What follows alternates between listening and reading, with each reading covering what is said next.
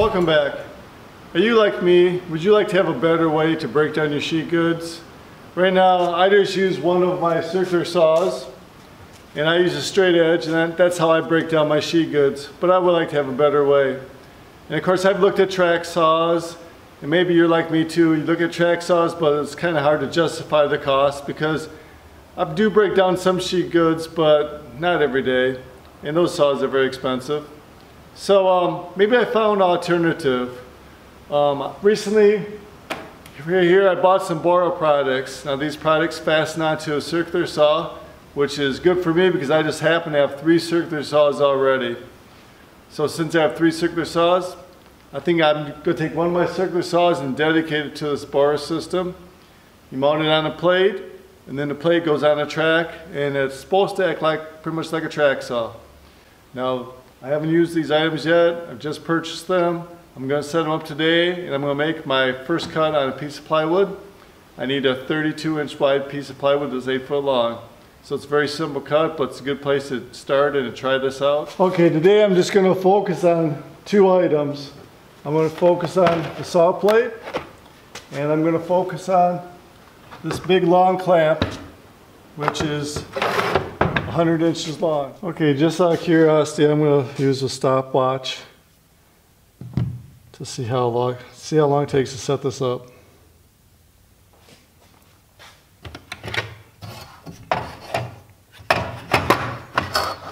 First you set the plate onto the track. There's two screws to loosen up.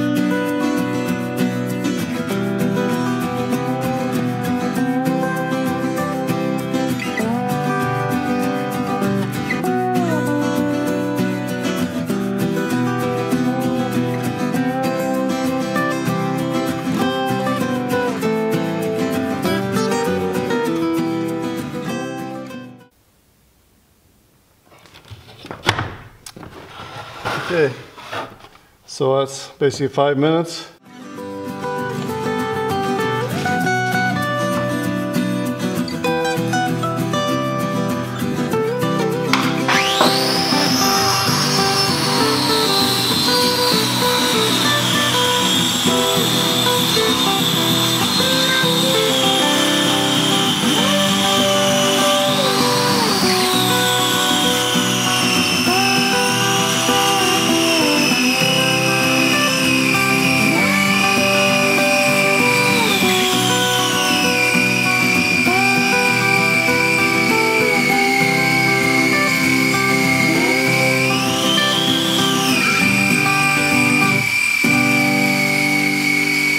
Expecting this system to be quite this precise, but I'm very happy with that. It's more accurate than I thought it would be. So that's very good. I like it. Well, now for my closing thoughts on this Bora system. The Bora, the Bora straight edge, along with the saw plate to put on your existing circular saw, it works better than I thought it would. My expectations was if I could rip some panels, some plywood, sheet goods, within a 16th of an inch, I'd be pretty happy. This one, the last cut was dead on. There's no deflection whatsoever. The clamp itself is made out of aluminum. The plastic it has a plastic handle, but this part's aluminum. And uh, and the saw plate itself is uh, is made out of plastic, so you can't expect it to last really as long as probably a track saw that's higher priced. But for the price of this thing, my gosh, you want to get into entry level of something accurate, it's super easy to use. You just push along just like a track saw the, you don't have to worry about the saw going one way or the other. It's really simple, easy to use. Um, told to set up time, I took it out of the box. You saw me set it up. It took five minutes to put the plate onto the saw and have it accurate. Off camera, I took about another five minutes just to square, put a square and everything to make sure everything was, was completely square.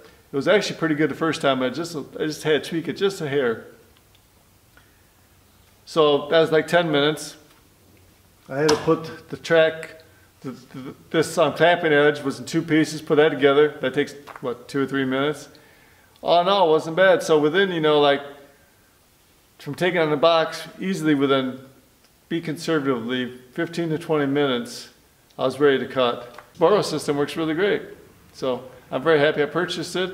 I'm sure you see a lot more videos. Thanks for watching and have a great day, everybody. And I'll see you next time.